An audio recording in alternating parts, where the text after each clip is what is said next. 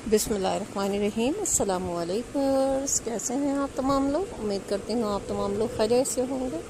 Hope your fine. अल्लाह पाक आप सबको अपने हिफ्ज़ अमान में रखे, अल्लाह ताला आप सबको खैरियत से रखे और अल्लाह ताला आप सबको सेहत तंदरुस्ती वाली ज़िंदगी दे। आमीन। आप चलते हैं वर्स अपने लेटेस्ट वीडियो की तरफ़, जो मैं आपके लिए लेकर आई हूँ। बहुत ही खूबसूरत, बहुत ही प्यारे कलेक्शन।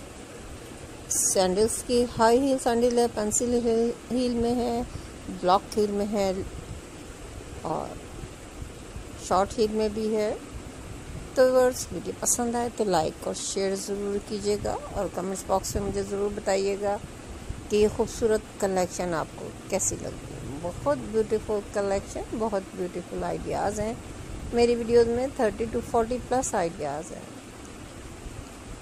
तो वर्ड्स खूबसूरत stylish beautiful elegance design sandals के हाई हील सैंडल के। अगर आपको पसंद आए तो जल्दी से लाइक और शेयर कर दें और सिंपली कमेंट्स बॉक्स में बता दें कि ये खूबसूरत सी कलेक्शन आपको कैसी लगी। बहुत बेस्ट कलेक्शन बेस्ट आइडियाज़ हैं मेरी वीडियोस में, क्योंकि बस मेरी पूरी कोशिश होती है कि मैं आप लोगों के लिए बेस्ट से बेस्ट कलेक्शन लेकर आऊँ बेस्ट से बेस्ट आइडियाज़ लेकर आऊँ। जो आप अपने लिए पसंद कर सकें और ऑनलाइन इन्हें परचेज़ भी कर सकें।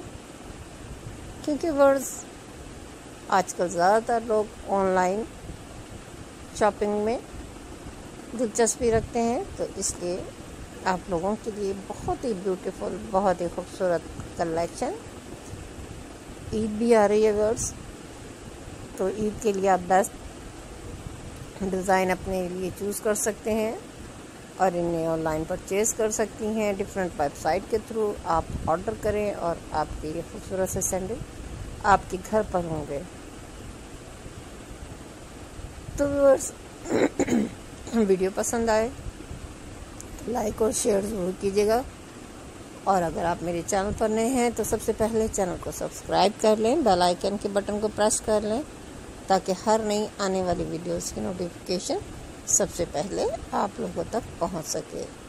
बेस्ट कलेक्शन बेस्ट आइडियाज़ देखने के लिए आप हमारे चैनल पर ज़रूर विज़िट करें, क्योंकि हमारे चैनल पर गोल्ड की कलेक्शन बेबी फ्रॉक्स और कैजुअल सैंडल शूज़ और समर के लिहाज से ड्रेसेस की कलेक्शन बहुत बेस्ट है।